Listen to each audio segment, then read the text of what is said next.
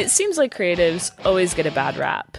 From childlike tantrums and ridiculous green room requests, strange superstitions, and even self mutilation, it's clear that artists have plenty of strange habits.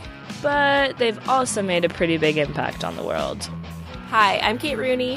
And I'm Jess Guffey. And you're listening to Creatives Are the Worst, presented by Design Pickle, the leading flat rate graphic design and creative services platform. In this podcast, we'll be uncovering the fascinating myths and shocking stories behind the artists we love, or in some cases, love to hate, as we try to determine are creatives the worst? Welcome to Creatives Are the Worst, a podcast presented by Design Pickle. I am Jess Guffey, and I am joined by my very wonderful, very talented co host, Kate Rooney. Hi, Kate. Hi, Jess. That was so lovely. And I, I, really like your radio voice right now. Thank you. I don't know where it came from. Maybe it's because we're recording on a Sunday. We're kind of calm and zen, you know? Yeah. I always feel really calm on a Sunday before I start my work week. I it's, agree. Uh, it's when I feel the most zen on a on a Sunday night. Namaste. As I see as I see my inbox filling up with 400 emails. I just feel like the Sunday scares don't even exist, you know? Just watch what that are, inbox climb higher and higher. How has our voice gotten so much more calmer as we record this? That's not us. That's not us at all. I'm a crazy That's person. literally nothing to do with us. But we're not here to talk about yoga or being Zen because we're clearly not Zen people. So I believe, Kate, you have a story for me today. Is that correct? I do, and I think it's fair to say that this person was not Zen either. But perfect. but before I launch into that, uh, or before I reveal who we're talking about today, of course, all of our sources are listed in the show notes below. And as much research as we do, trying to make sure we have everything accurate, uh, we're human and we might slip up. So if you hear anything that uh, we've messed up, just shoot us an email at podcasts at designpickle.com. But yeah, we, we also have some insights, but those are just our personal opinions. So feel free to argue with us. Yeah, when, once we get our first hate mail, that's when we know that we've made it. I did and I think that's that. true. but Jess, I, I have something I have to confess to you. I'm ready. I may not always love you. Excuse yeah. I was not prepared for that. as long as there are stars above you, you may you never need to doubt it. And I'll make you so sure about it because Jess, God only knows where I'd be without you. wow. Did you just read me a poem? Well, close to it, because while it's true that uh, God only knows where I'd be without you, I think it's also safe to say that God only knows where the world would be without the Beach Boys. Is this happening? Is this happening? Or it's are happening. you lulling it's me happening. into a false sense of security and then going to do bait and switch and it's actually someone else?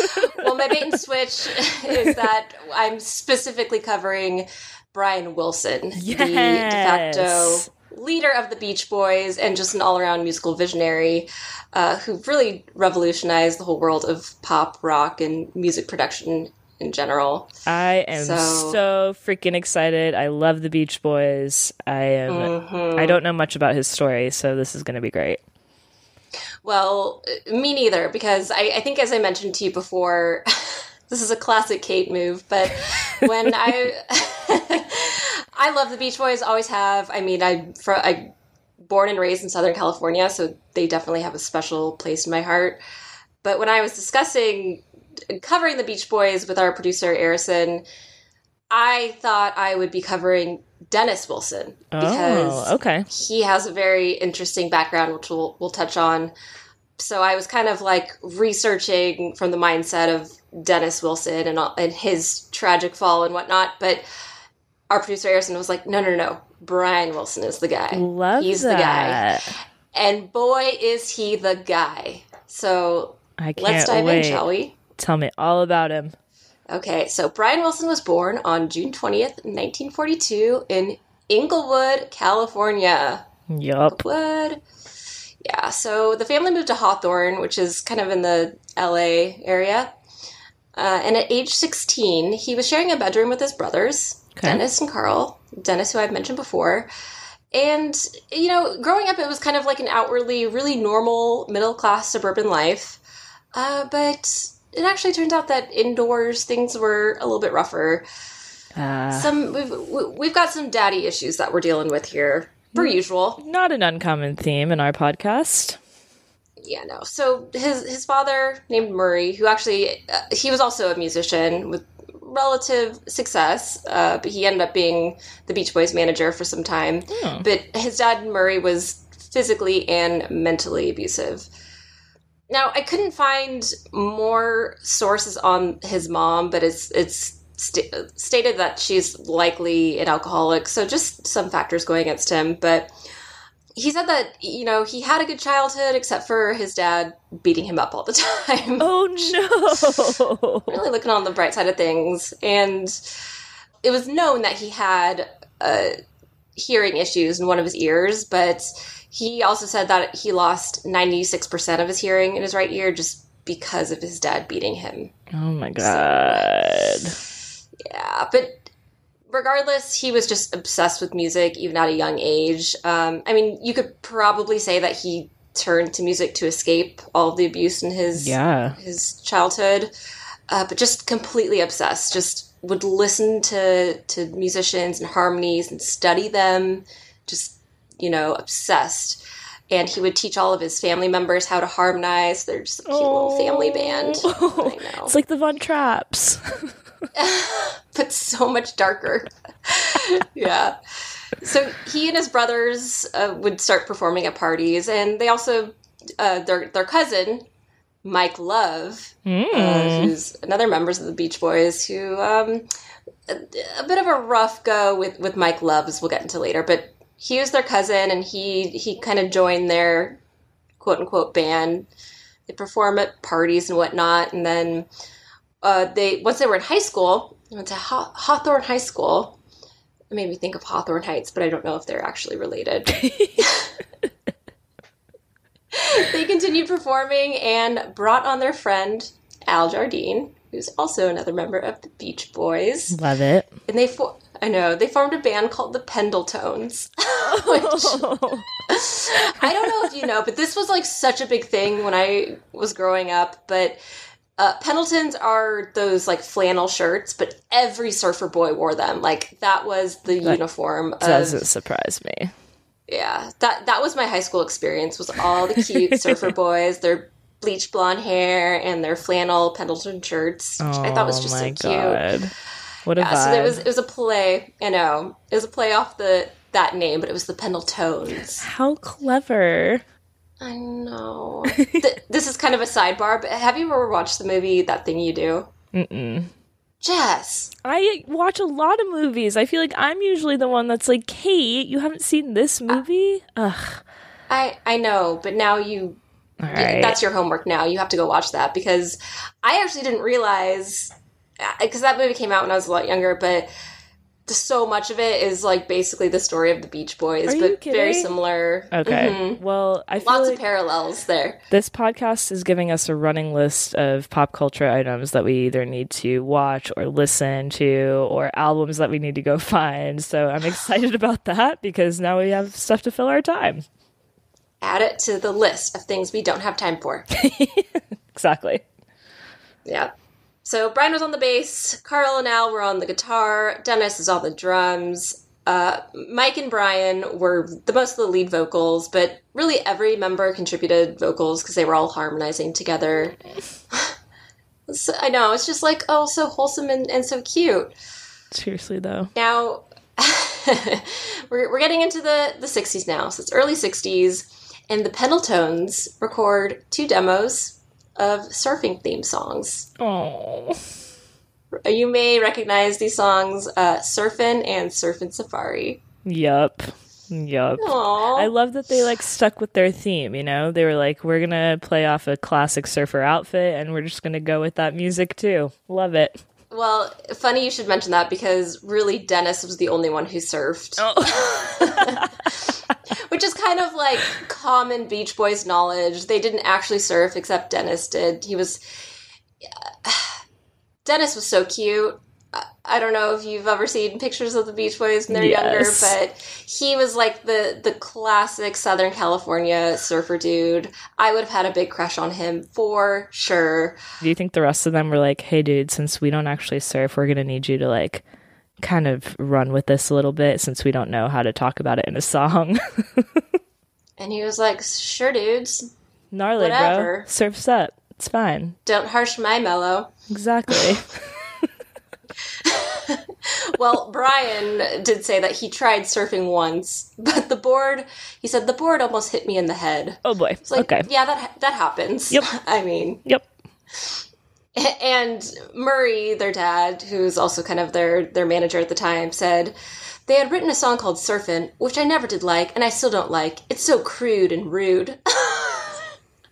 That's the best insult that you could come up with. It's crude and it's rude. Okay, bro. Shut up. so like it's not, but okay. yeah. So at this time, they they were picked up by a small label, and the label renamed the group the Beach Boys to, to kind of capitalize mm. on that whole surfer culture vibe, whatever. Now, there's this whole like they really created what's called California sound, and that is, I mean, it's the Beach Boy sound. It captures like that sunny, youthful Yep. culture of Southern California, and I think that again, like that's why it's so near and dear to my heart because it makes me think of growing up by the beach, just like that carefree. But they, that's like that's what they established, and so they're called the Beach Boys now, and really capitalizing on that California sound. And the the Beach Boys, or the former Pendle the Pendletones, were kind of like confused by it, or just like, really, we're gonna go with this, but it worked. Now, I, I had a reference here to that thing you do because right after this happened, uh, one of the members, Al, left for dentistry school, and I had all these alarm bells going off because that's exactly what happens in that thing you do. Like they took that story verbatim. Amazing. Uh-huh. But so now they're the Beach Boys. They're creating albums, and Surfin' cracks the Billboard's Hot 100, peaked at number 75, and Surfin' Safari reached the top 20. So they're they're getting like pretty good uh, coverage Yeah. here, and earned them a contract with Capitol Records, the famed Capitol Records. Moving on up. Um, mhm. So I literally wrote in here, just so stupid. The first wave of success. Just need to add more surfer so puns. I know, I know. I'm sorry, but they released their full uh, album, their first like full album called Surfin' Safari, which was number 32 on the album charts. And at this point, like Brian is definitely still the the primary creative leader. Always, always was, always has been. Uh, even when they were younger, but it really, as I said before, that whole like California style is really bright and cheery and representing the California youth culture. Um, so they continued with that with Surfing USA, Surfer Girl, Little Deuce Coupe. They all broke the top 10. So just, again, riding that wave to success. Don't let the board hit you on the head on the way out because, Eek. dun dun. Now we're getting into the 60s here. Oh And- boy. glorious 60s. Brian really starts to experiment musically, but also chemically. Hmm, say. knew that was coming. Yeah. They really wanted to like he or he wanted to push their sound beyond like this kind of light, airy pop formula. Uh, so he just put everything into creating music, um, and they were having massive success. I mean, like I said, all of those songs that they had before, all the surfing, surfing girl songs, they were all in the top 100. Yeah. So they were touring all over the place. And uh, in 1964, they were on a plane from LA heading to Houston for a show, and Brian just has like a full on nervous breakdown. Just No. yeah, just from like the pressure of the performing schedule and everything. Uh, in the middle of the flight, he just like starts crying and shrieking Oh, and God. screaming into a pillow, sobbing on the floor of the the floor of the plane. Is it a Yeah. floor? I, guess mean, it is. you're in the air, but it's still a floor. yeah, no no one really knew what to do with him. They're just watching him have this breakdown being like, maybe we should turn around and go back. I don't know. also feel like it's really hard to deal with stuff like that in the 60s because they weren't knowledgeable about like how to handle those situations and it was mm. almost looked as like you're weak if you have a ner- nervous breakdown like let's not take into consideration mm-hmm. everything that's going on in your life let's just like call you crazy or classify you as something and put you in a box rather than dealing with it head on Yeah. And it gets worse. oh no So I know. So at this point, because of his his breakdown, he stopped performing with the Beach Boys and really took everything like when he stopped performing with them, he instead of just getting better, he concentrated on songwriting Yeah. and studio production. So he just moved all his energy into creating more music. And he explains uh, in an article, he says, I felt like I had no choice. I was run down mentally and emotionally because I was running around, jumping on jets from one city to the to another, on one night stands, also producing, writing, arranging, singing, and planning and teaching, to the point where I had no peace of mind and no chance to actually sit down and think or even rest. So just a full on yeah overwhelm. And I feel like a lot of people have felt that. I mean, not not to that level where you're like one of the most famous bands in the Right. world, but just like I can't stop working. I have no time to even just like sit and be and I also feel like for artists, one of the things that we've kind of seen in our research thus far is that they get really overwhelmed when they're not able to do exactly what they want to do. And you mentioned that he was uh-huh. kind of trying to want to experiment with different sounds and possibly get away from the stuff that had made them so famous. And it's like maybe that contributed to it because he just he was like, screw this. Like, I'm not writing music and producing music that I'm absolutely in love with. Sure, it's commercially successful, but like, I want to uh-huh. do what I want to do and make music that I want to make. So I wonder if that contributed to it. exactly. I mean, you think about the songs that that drove the Beach Boys to like huge, massive acclaim, and it's those light poppy sounds, and he Yeah. he had more depth to him and he was he was a musical genius i mean without a doubt so he wanted to Totally. really experiment with stuff but instead he ends up experimenting with um, some other substances so Oh, Brian. no, it's the- Brian. it's the 60s come on i mean what else are you gonna do so he's, he, he was first introduced to marijuana the gateway drug Drug abuse resistance education taught us that. hmm ooh dare mm-hmm. i remember dare There's a whole song. Do you remember the song? what's the dare song I'm not going to sing it. Oh, not going to sing it. If you knew it, I would sing it with you, but nope. Okay, we'll we'll uh, record that later Exactly. when we're watching that thing you do. um, but yeah, he, he started some he started smoking the ganj, and it actually is, he said it helped him alleviate his stress and inspired creativity. So that's positive. Marijuana's been known to have that effect on people. Yeah, so he, he actually completed some other albums for the Beach Boys. He wasn't touring with them at this time, but he was still like composing all the music and doing the production. Now, later, uh, he has his first acid trip, and this Oh, is definitely a, piv- a pivotal moment here. Yeah. Now, on one side, it, it had a, his first uh, acid trip had a major effect on his musical conceptions, but he also kind of had a bad trip. Oh, God. I'm sure you're familiar with the the whole concept of ego death. So uh, this is something that that can happen when you are on LSD, acid, or whatever psycho psycho act. No, some sort of psycho drug. Hallucinogenics. but basically, it's like you see everything and realize how little you are as a person, and Uh, okay. it's called ego death because you're it's death of the ego. You no longer have this grandiose ego. It's more like we are all one. And it can be really traumatic for people. Some people also think it's very enlightening. But he experienced it. And during his uh, his trip he was again freaking out screaming into a pillow thinking about his parents and how much they messed him up how awful they were. And he was just scared freaked out. And so what he does while he's still tripping is he turns to music. So he walks downstairs, he sits on his uh, piano and starts playing starts playing this one melody over and over again, and it's da da da da da da da. Oh um, man. Yeah, or I'm probably saying that wrong, but da da da. But it's it, it's basically he's coming up with the song California Girls. Oh. I, I know it's so weird because we're talking about dark stuff, but I can hear both of us going, "Oh, I know." oh," because it's just so nostalgic, and Yes. I love that song. I love that song so so much because, well, Same. I'm a California girl, and so it's all true. Uh, but it's brilliant. Like the that first like twenty seconds of the song is just like you're getting all hyped up for it, and then the vocals come in. Everything's all layered. It's beautiful. And I mean, that obviously inspired so many musicians later on, including uh, just Katy Perry and her fantastic game changing hit, California Girls with the U. With Snoop Dogg on the track. That was the best part of that song. Can't forget that. Um, quick question. I I've been thinking about this as you've been talking about his experimentation with substances.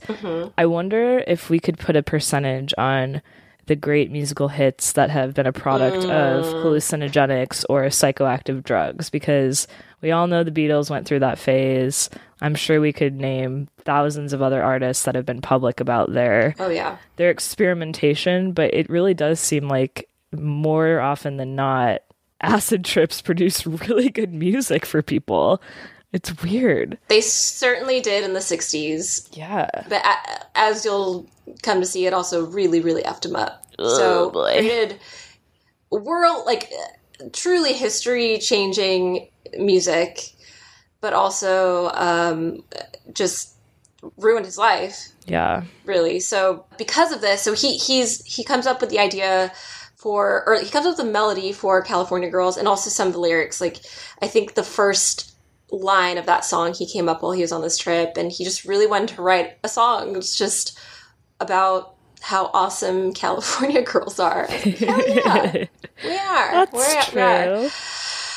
Ah, yeah. So, but also because of this trip, he started suffering from auditory hallucinations, which is can be very common Oh, no. when when people experiment with LSD, but also when they're uh, probably a predisposition for mental health issues that can like trigger it. So it's unclear if that's what triggered these hallucinations, but it carried with him for the rest of his life having these terrible auditory hallucinations. Did you know that you probably know this, but uh, you know, in several neurobiology classes in college, we talked about the effect of drugs, and LSD is the only drug that can remain in your system for like eternity. So, like, what it does is it can get trapped in your spine.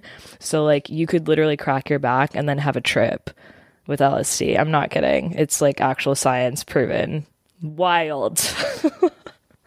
My eyeballs are so big right now. That's terrifying. yeah i that stuck with me like i couldn't tell you anything else but i just remember being horrified by that because people are like affected they did it one time and then it carries with them their entire Yeah. lives so I, I didn't know that. I just I just knew that if you have like sch- schizophrenia, for example, yep that could trigger that or bipolar disorder. If that was undiagnosed and you have a bad trip, yes uh, it could make it rise to the surface, which is interesting in one way too. Because does that mean that it would never have appeared later in life, right or uh, you know, who knows? If you Not know us. We're not if you know please let us know if you are a doctor or a psychiatrist specifically please let us know uh-huh. So after this point, I mean, he continues experimenting with psychotropics for the next few years. That was actually the word that I was looking for before, not psychodrugs, but psychotropics. So now we're in the the mid 60s, we're in 1965, and he starts working on his new project, which you may have heard of, called Pet Sounds. and uh, man, I listened to so much of the Beach Boys while I was researching for this, particularly Pet Sounds, because it's just a magical album.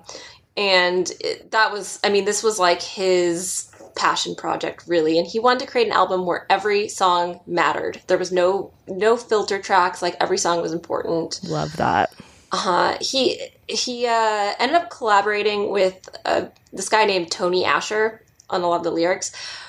Interesting tidbit though, Asher was a, a an advertising person. Like he wrote jingles for advertising companies. no so way he was bas- yeah, like he was basically able to take Bri- Brian's crazy ideas fueled by LSD and turning them into like catchy lyrics and compositions. what a niche um, that profession is a jingle writer. Right? That's so fascinating to me. I think it's so interesting to take someone from like the marketing and advertising world and how that can apply to to music too. To make something that's you know, I've never thought of that. Should we try to write some songs? uh, I mean, I've written plenty That's of true. songs that I've That's sent true. to you. I, I wouldn't say that they're pet sounds uh, level, but I wouldn't say they Also, have I the commercial sing. appeal yet. You'll get there, Kate. Sure, sure. I, I love this though. Asher Asher's first impression of, of Brian was that he was the single most irresponsible person he had ever met. Oh boy. and yeah, recalls one time there were uncashed royalty checks of up to one hundred thousand dollars just scattered all over Brian Wilson's house. If, Hire if this that man a business creative, manager. If that doesn't just wrap up what a creative is, I don't know what. Like, just wildly irresponsible, Yep. really bad with money, but man, just making the most brilliant art Just you've ever seen in your life. Bangers out on the reg, but can't cash a check. Yep. Yeah. Sums it up. Uh, so Pet Sounds is, is revolutionary in a lot of ways, but really in just how it was all created. Because typically, you know, in the 50s and early 60s, people are, they have their band and they're writing their music and Yep. recording it as you do. But uh, Brian had this vision to incorporate just like a ton of different musicians and instruments that had never really even been utilized before Mm. in music. And he hired this really famous uh, session group called the Wrecking Crew. And Love that name. a, uh, right. It's basically like a conglomeration of a bunch of different musicians who perform for different recording sessions and stuff like that. But they've they've performed with like a ton of different famous um, uh, pop stars and whatnot. But he hired them. They would come in, record bits and pieces, and basically, Pet Sounds was recorded like a movie or put together like how you would put to produce a movie. So Hmm.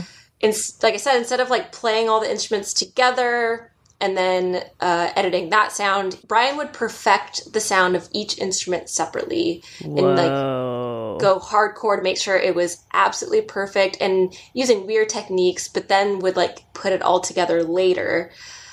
But really, it, like he did it all. He produced, arranged, and composed everything on this album, um, and just it was it's so gorgeous. Just all these like layered harmonies and like lots of like orchestrated, uh, almost like symphony music and just weird Yeah. things like keys jangling and uh, the the the famous theremin coming in.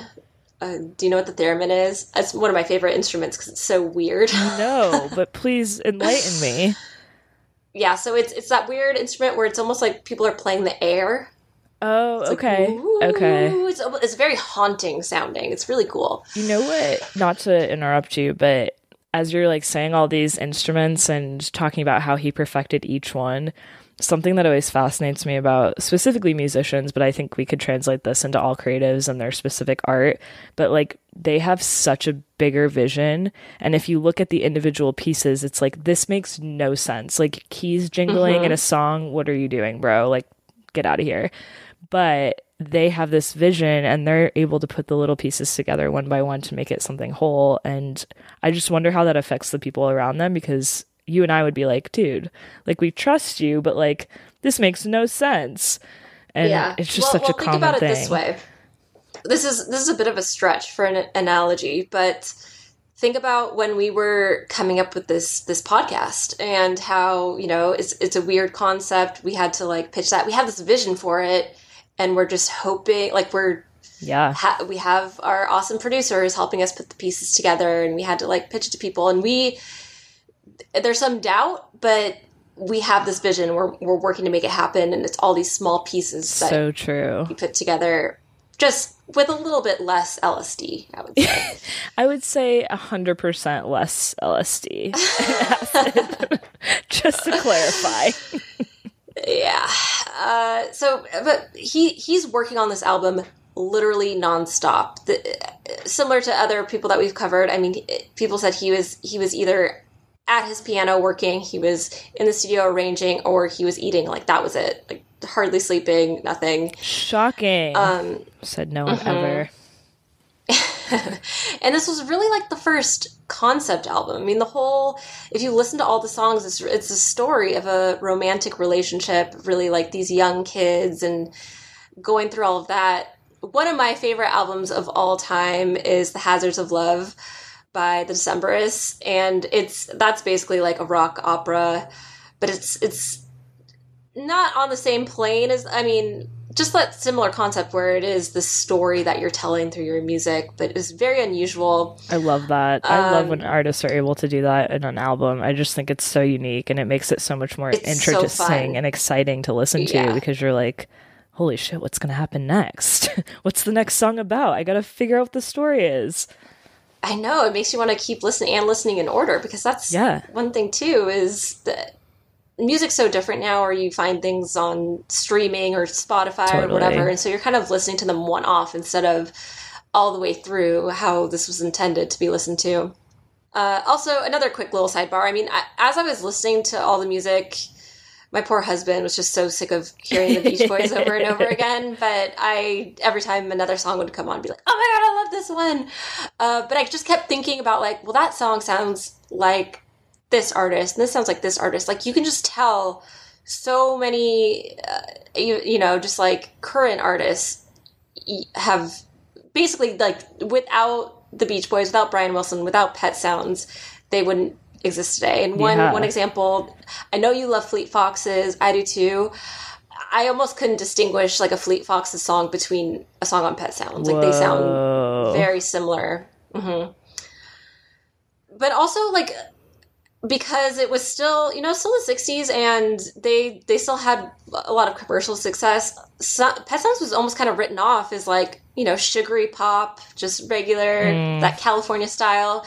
But some of the the lyrics are pretty dark if you really listen to it. And i i read an article that said like it almost brings out this existential fear and that's so true. That's like a, we, the perfect way to put it. You kind of i think it's it's the way the music is all um the way it's composed and how it's uh, like weird and you do have these unique sounds and things Right. that are like reversed in the weird way that you wouldn't expect to kind of like if you just weren't you weren't really listening to it you just had it in the background and be like oh yeah fun pop song but then you're like really listen to it and you're like oh i don't i don't feel well you know what's interesting about that? I'm glad you brought this up because we obviously love music and music is a huge part of both of our lives, but like I feel like I'd be interested to hear Brian's thoughts on that about how people were receiving the album because I think a lot of times artists know that they're putting stuff out that might be perceived in a completely different way by the public or by critics.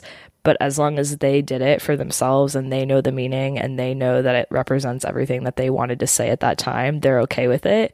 But oftentimes, the ones that they love the most are not the critical successes and vice versa. So it's really interesting to hear that because, like you said, people might just be like, oh, fun, sugary pop, it's great. But if he felt good about it and he was like, okay, this is the story that felt right for me at the time, he probably didn't care as much.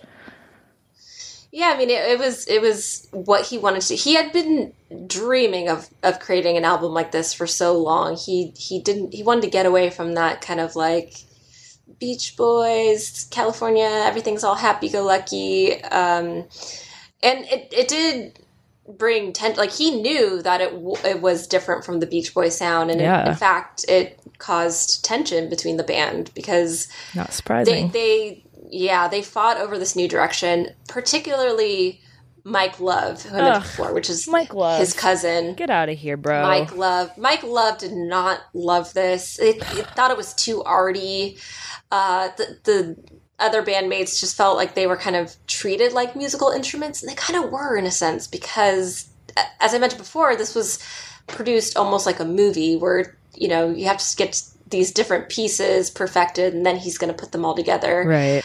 And so on one hand we have the theremin and then on the other hand we just have we need the beach boys to harmonize this one part but Mm, the theremin is just as important so I can I see where get they that, would feel but- like that. Yeah. yeah but more so they didn't like the lyrics in, within it because i think again it was just a little bit darker than they were used to and mike love again Ugh. just being mike love said Take a that lap, some of the I think maybe Mike Love and Murray were, were close because he said some of the words were so totally offensive to me that I wouldn't even sing them because I thought it was too nauseating. Um. Okay. I. It's hard to say because uh, we we didn't grow up at this time. We weren't born in the '40s, so I think our um, our idea of offensive music is very different to Mike Love's. As uh, "WAP" is the I was number just one gonna song say. out there right now. Your new favorite But I'm just song. like trying to, I'm trying to think like explicitly what he's referencing because yeah. I mean I, I listened to the album, but I didn't listen to all of the lyrics one by one. But there's no like, there's nothing in there that'd be like, oh no, oh my, Yeah. Like what was so taboo nauseating. in his mind? Mhm. Maybe he was just jealous. Now, well, because Mike Lo- Mike Love loved uh, he loved formulas. I mean, he he wanted to stick to the safe stuff. He just he didn't understand this whole experimental process for music. He just wanted to stick to the classic Beach Boys formula. he kind of sounds like maybe he was the worst. Just gonna say it. Yeah, I, I would I wouldn't uh, disagree with that. Uh, well, fun fact: the the name Pet Sounds came from the fact that Mike Love uh, said said to Brian, "Who's going to hear the the ears of a dog?" So then Brian, maybe in a bit of of an f you Wait. I love that. Sounds. Who cares Yeah. if dogs are liking it, Mike Love? Maybe dogs listen to it when we're away, all right? It's fine. maybe Benny heard it. it's like Uh, when the, a- to- uh, the toys in Toy Story come alive, you know, when the people leave, our dogs listen to music. They're like, hey, Alexa. Huckleberry's just tapping my his paw to get vibrations. Huckleberry whips out the guitar. He's like, hello. Huckleberry has the theremin, he's, his paws are going over it. Ooh. Oh, I love that so much. On that note, let's take a quick break. Hey Jess, what do you call a pickle lullaby? I don't know, Kate. Tell me. A cucumber slumber number. Oh, no. I did not see that coming. Mm, nope. That joke may have been the worst, but Design Pickle is not the worst. Definitely not the worst. And there's a reason that Design Pickle has been ranked on the Inc. 5000 list of fastest growing companies in America for the past two years.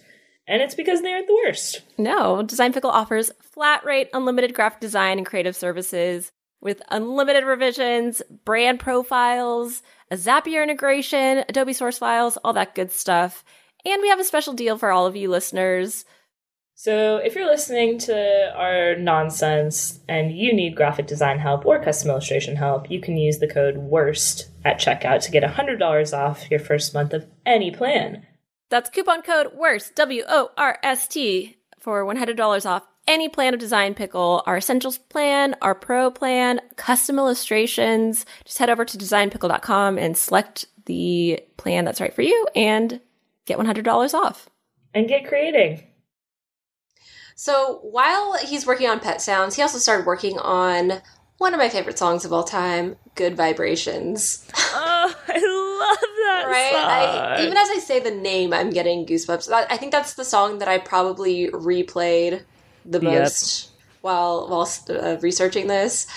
I didn't know that it so was. It's so good. Uh, the the story behind it though is, is pretty wild. I mean, it was the costliest single ever recorded at the time. what? Because, yeah, because they had to have all these different like session artists come in recording these weird instruments and just the the composition of, of it all took so long. I, I can't remember the exact amount, but it was yeah, it cost the most out of any song, any single recorded at that time. Well, Uh-huh. worth it because fantastic. Yeah, and the title comes with Brian's fascination with quote unquote cosmic vibrations. Ooh. Ooh. uh, I, I mentioned at the top that his mom was probably an alcoholic. I didn't see anything really confirming that. It, it said in Wikipedia that was like suggested that she was. Um, but as a child, she would tell him that dogs sometimes bark at people in response to their bad vibrations. And that kind of like stuck with him his whole life. That's true, though. Yeah, they do. Oh my gosh. Huckleberry knows when someone has bad vibes. Yeah. Yeah. He'll give, them a, he'll give them a growl. cray cray. Yeah. He'll shoot him in friendly growl. It's fine.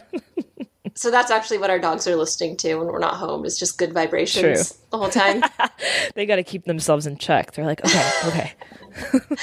the mailman's coming. Hold on, I need some good vibrations right now. Not the Amazon truck. Ah! Oh no! now, Capitol record execs were worried because the lyrics contained psychedelic overtones. Uh, they thought that it was, you know, recorded under the influence of LSD, but Brian's like, no, it was recorded under the influence of marijuana, not LSD. you silly gooses. Classic creative. Like, I would never do that. But actually, it was just this, which you guys Uh, might yeah. perceive as just as bad, but it's fine. Yeah. Regardless, it, it set a whole new standard for musicians and what could be achieved in the recording studio because it was so crazy the way it was composed and just the thought that you can like reverse these scales and add on all these like crazy sounds that you wouldn't hear in music before. So it just opened the Yeah. door for other musicians to, to recreate that.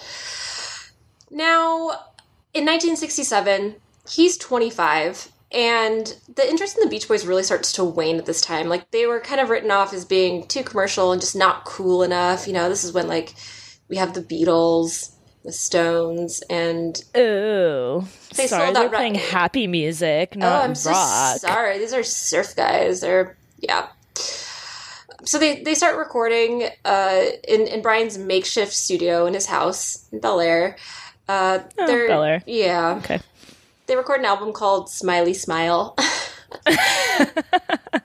we'll just take a take a beat on that. Take it all in. Smiley Smile. It, it ended up being their worst selling album of all time. Okay. The woat. Yeah.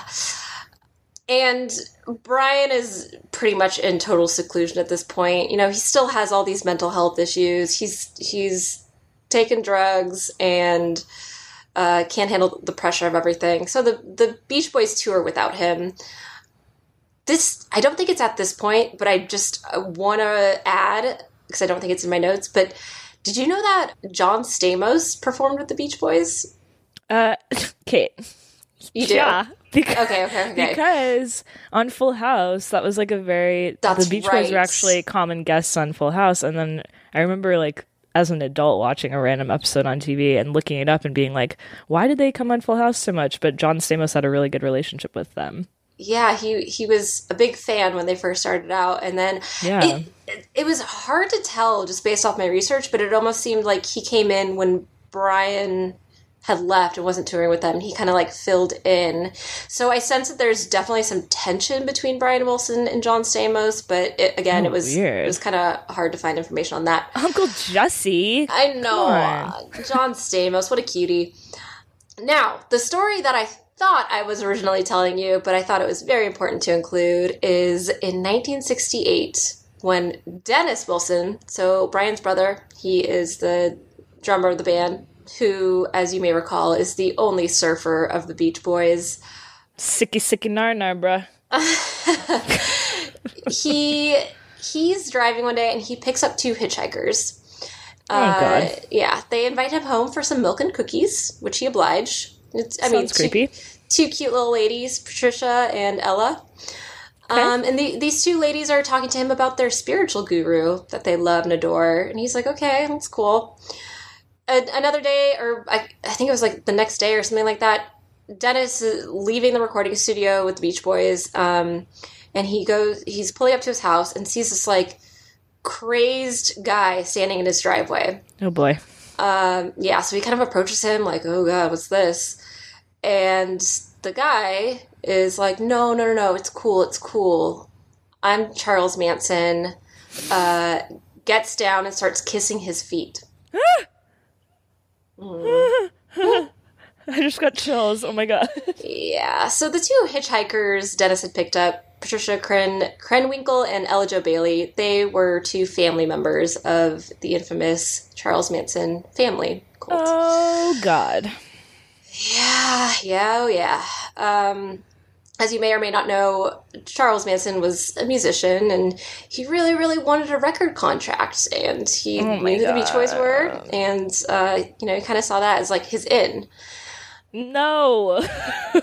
Oh, yeah. No. Did you, do you, have you not heard this before? I have not heard this before. I know about his story and all the other, sh- but I did not know that he wanted a record Oh. deal. God. Uh, they end up like becoming really good friends and hanging out. But Ah, Dennis, Dennis. Dennis, who's like has crazy success, global success, has this big house, and he just invites Manson and all of his family members to come stay with them, him in his house. hmm Dennis. And I mean, it, it kind of worked out because Dennis, Dennis is like the cute little surfer guy. He's like, he was very handsome, in my opinion. Uh, but Charles Manson would like bring drugs and all these beautiful women around. So he was like, sweet, this is awesome. Like, you, we can just hang out in my house and make music, and you're going to bring over women and, and drugs. How rock and roll is that? Uh, but it wasn't it wasn't that normal um, our favorite mike love also uh, mentions in his his memoir that he went over to, to dennis's house for dinner only to find everyone there naked oh, God. The after dinner lsd fueled orgy was a little too much to take so uh, mike love just excused himself and just uh, he, he tried to like hide in the bathroom and manson barged in and like got mad at him for trying to leave so manson as we know is just a complete lunatic but he Yeah. wanted to control the whole situation and yeah Ugh, Um, ugh, I'm but- like so creeped Den- out right now.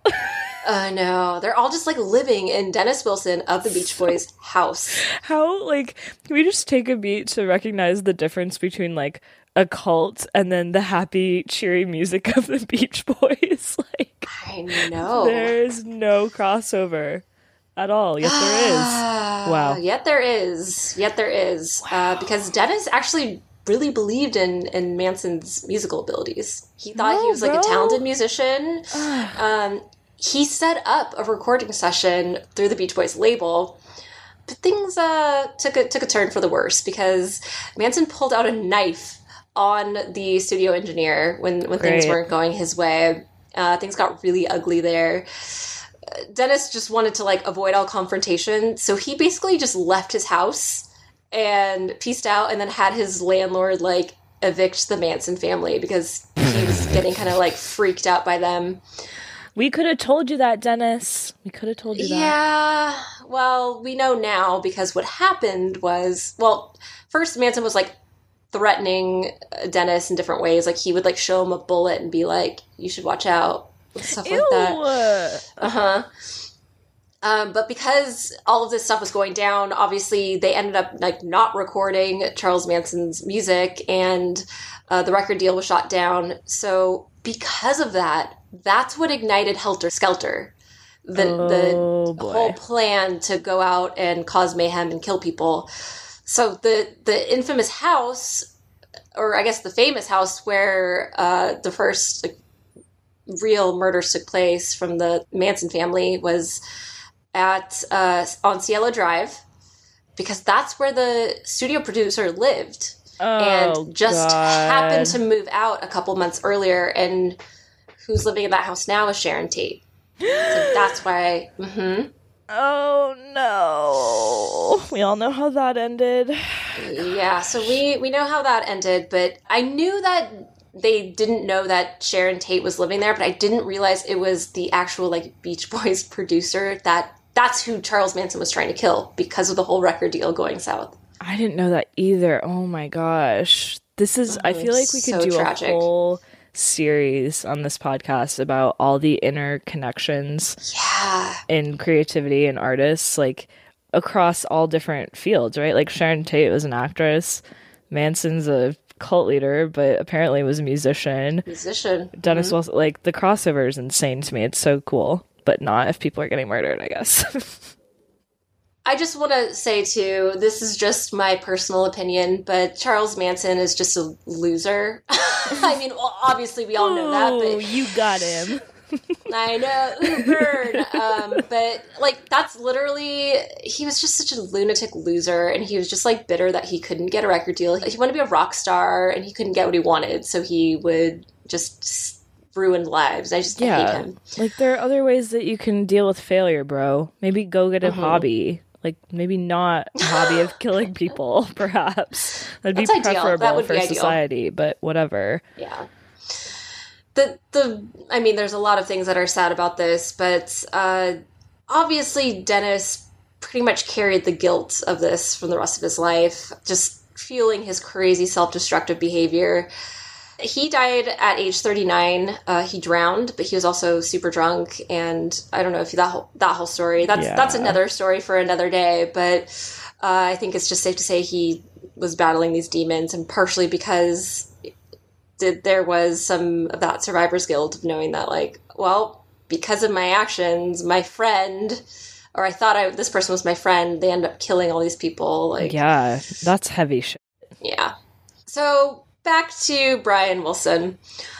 As he kind of goes down this interesting decline here, he's already had his big mental break, but things are not great. Um, at the time, the Beach Boys were trying to create this album called Smile, different from Smile, Smiley Smile. Yeah, I was just gonna say one's that just sounds a little uh, redundant. Yeah. But okay. They want us to smile. That's fine.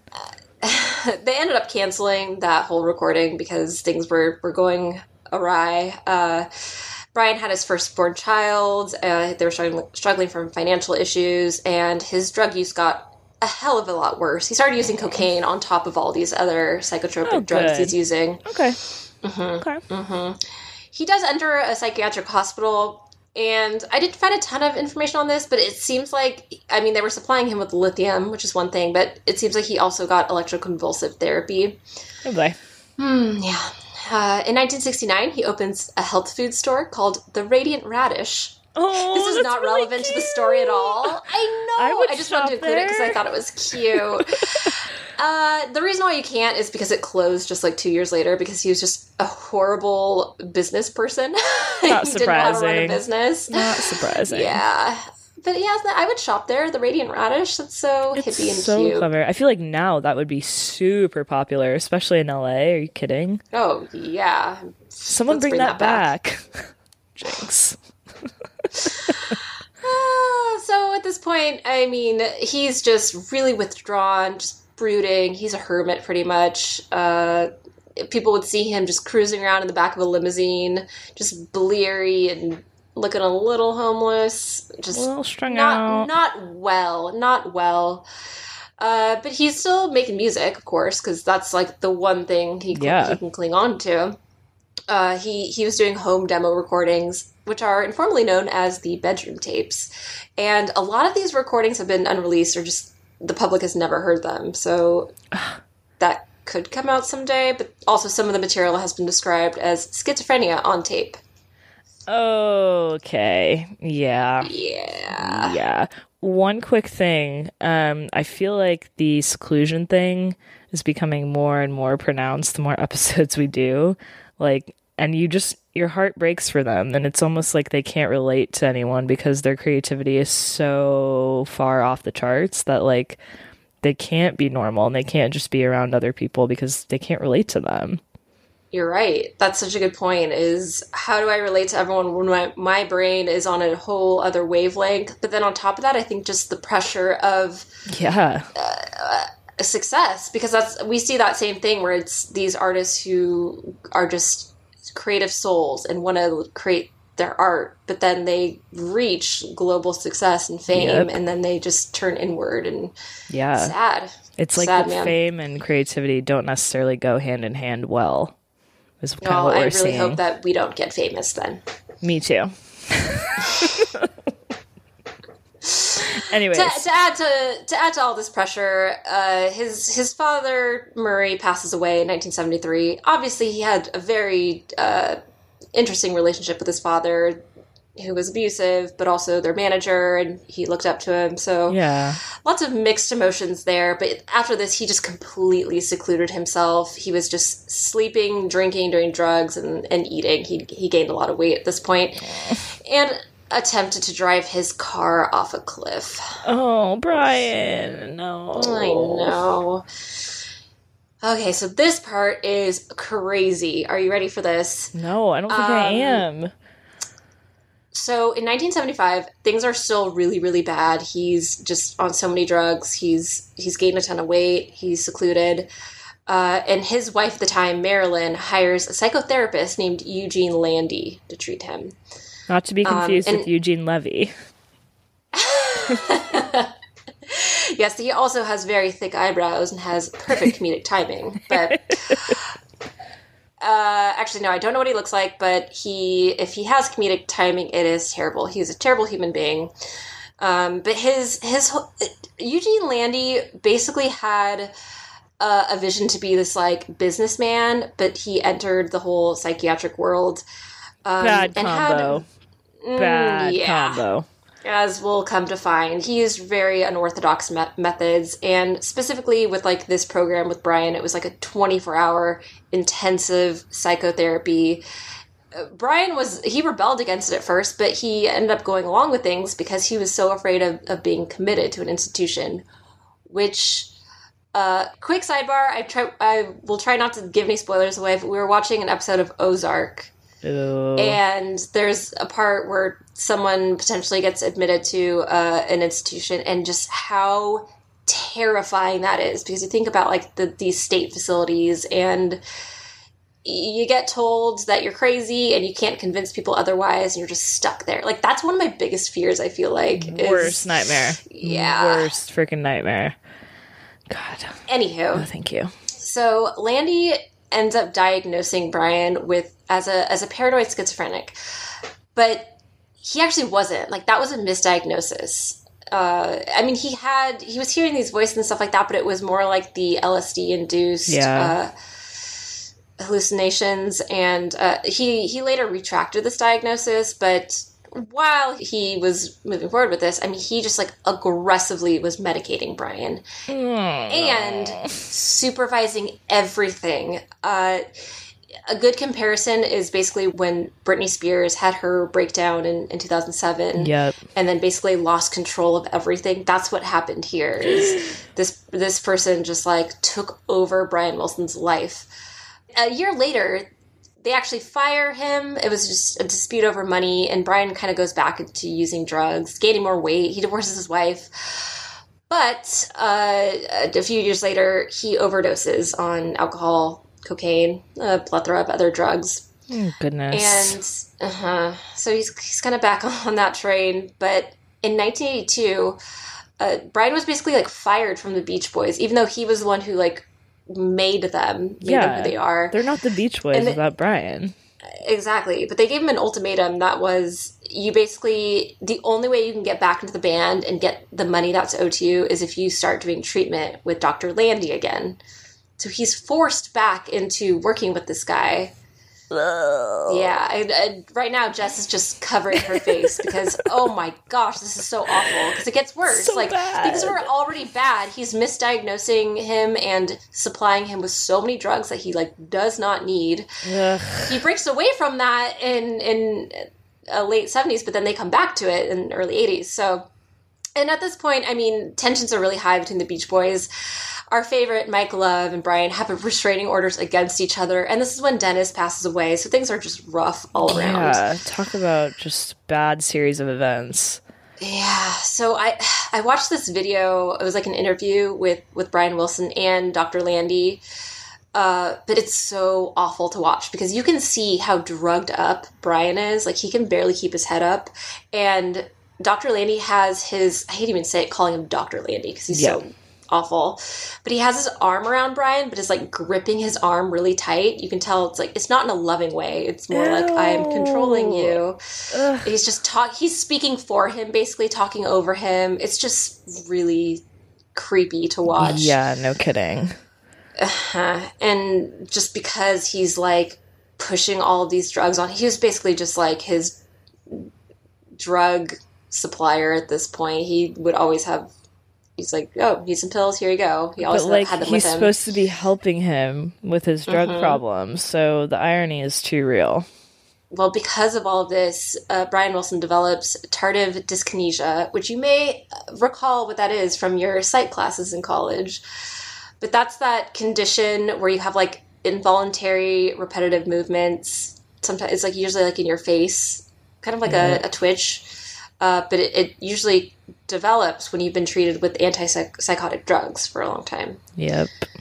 Ugh, I So hate people that. people didn't know what it was. Like they thought maybe he had a stroke or something, but no, it was uh, tardive dyskinesia. I hope I'm pronouncing that correctly. Sounds uh, really good. uh,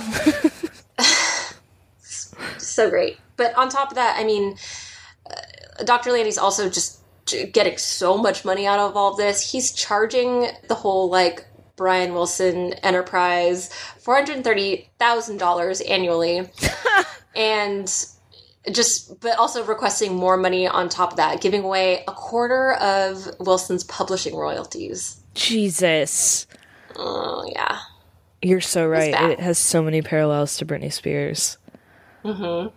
Yeah, he takes control not just of his mental health, like all of his financials, uh, who he can talk to. He he like kept him away from people, uh, would speak for him. It was all Nope. weird. And later they would find out that he had actually like somehow made himself the chief beneficiary in Brian Wilson's will.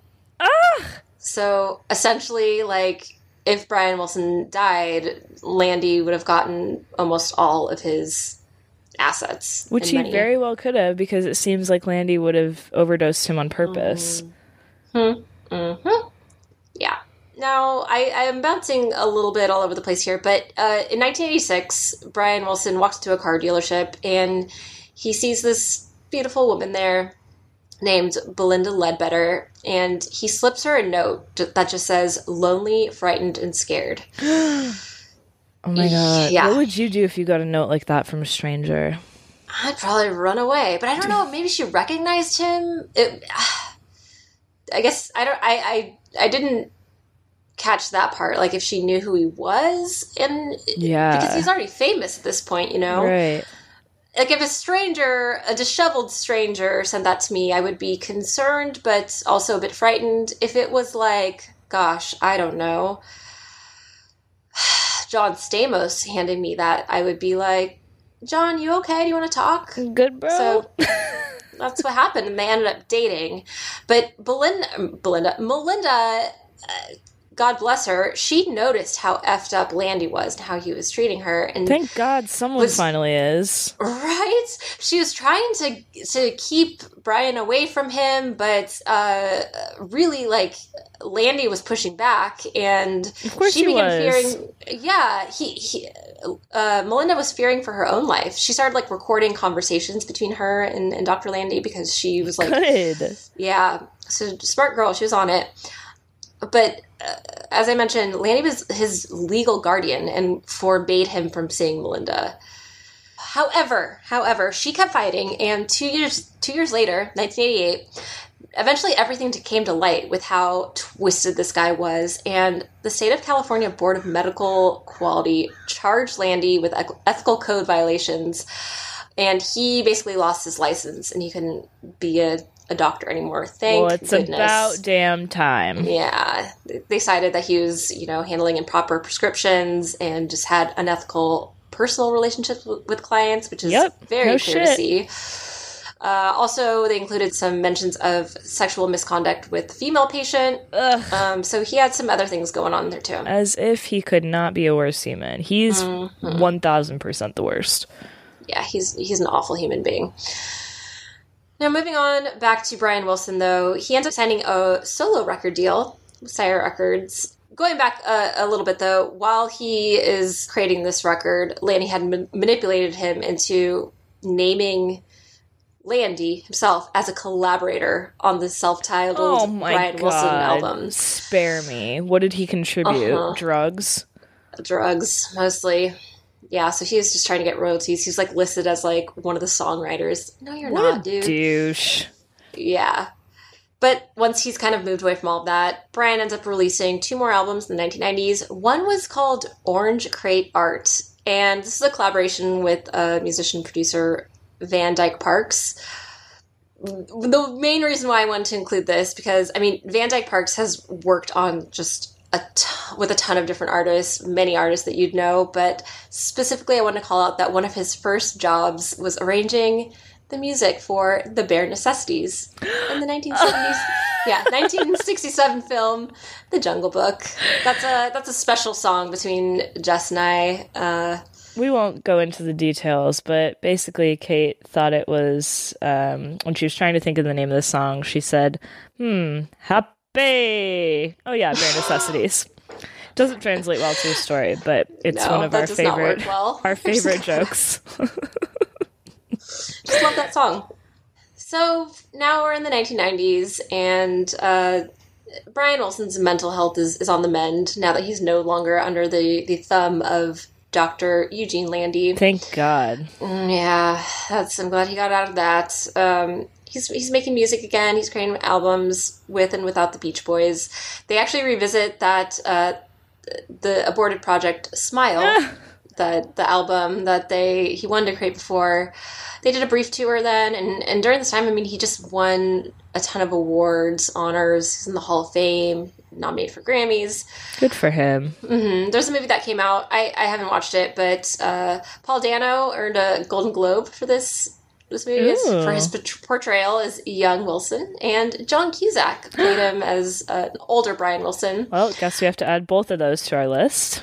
Now, get this: Paul Giamatti was Eugene Landy, Oh, I can totally picture him being so good at that role. right? Me too. Now, I this definitely adding this to our list. Yeah. He releases a new solo album called No Pier Pressure, but peer spelled like a pier by the oceans, kind of going back to that whole surfer vibe. Love it. uh, reached num- number 23 on the album chart so success. Like he's he's doing better. He's coming back up. And at this point you know he's he's there's plenty of interviews if you search for his name now um where he's doing better mentally and just talking about his his experiences. And uh, he stated that i'm having much more fun than i did as a beach boy because i'm no longer a beach boy. I'm brian wilson. How very poignant. I That really just goes to he finally show. found himself Yeah, like he just his identity was so all over the place when he was with the Beach Boys and the drugs and Landy. Like everything that happened to him kind of shifted him from being who he really is, which is so sad. He was a, a brilliant musician. He was. He is. He, I mean, he's he's still alive, but he he's a brilliant human being. Uh, obviously, very tortured by his past Yeah. and just uh, that classic like tortured artist where no one understands him. And obviously, drugs played a big part. But then that massive success that the Beach Boys got contributed to a lot of it too. It was almost like, like you said, like he kind of got pigeonholed into this one category when he just wanted to create completely revolutionary new music. Right. Um, but really, that leaves us with with the final question: Is Brian Wilson the worst? I have to say, absolutely not the worst. Was he tortured? Was he complicated? Yes, yes, all of the above. But it's hard to call someone the worst when they've just kind of had a lot of things against them in their lives, you know? Uh huh. And I feel like we've we've said this before in other episodes, but when you think about how much he has really changed the landscape of Yes. music, uh, it's doing things in the studio that people didn't even know that they could do, and that's what's in a lot of our music today. Totally. Uh, although Brian Wilson may not be the worst, I think it might be safe to say that Mike Love could be the worst, though. Yeah, our, our favorite. Like, whatever, Mike. Get out of here. I just I don't even want to speak about him anymore. He's definitely kind of like the most hated Beach Boy. He can stick to his formulaic sound. That's fine. Just don't be mean to, to the rest of the Beach Boys. exactly. Just be kind. okay, Mike Love. Just be kind. Uh, I'd love if everyone else could be kind and, you know, throw us a bone here. Su- subscribe to Creatives Are the Worst. Give us a rating, review. Uh, and like I said, if, if we miss something, if I mispronounce all the names wrong, uh, if you just think I have terrible taste in music, then message us at podcast at designpickle.com. Tune in next week to find out who really is the worst. Dun dun dun. All right, I'm going to go surfing now. Thanks for listening to Creatives Are the Worst. If you like what you're hearing, or if you think that we're the worst, please leave us a review on your podcast platform of choice. We'd love to hear from you. You can also contact us directly at podcasts at designpickle.com, and a big thanks to Design Pickle for sponsoring the show. Join us next week as we once again try to answer the question Are creatives the worst?